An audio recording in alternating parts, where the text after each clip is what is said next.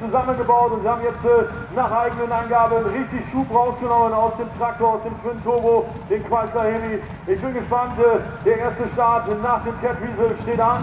Äh, was passiert hier in dieser Klasse? Der Ritt auf der Kanonenkugel geht weiter und der schwedische Champion ist zu Gast in äh,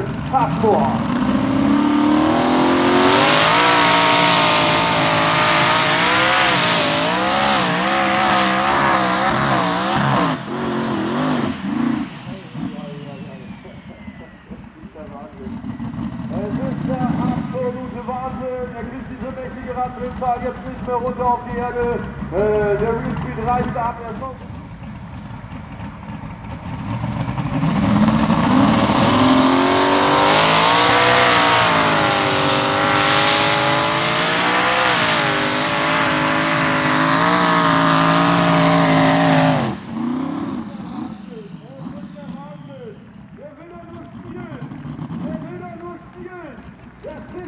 Thank you very much.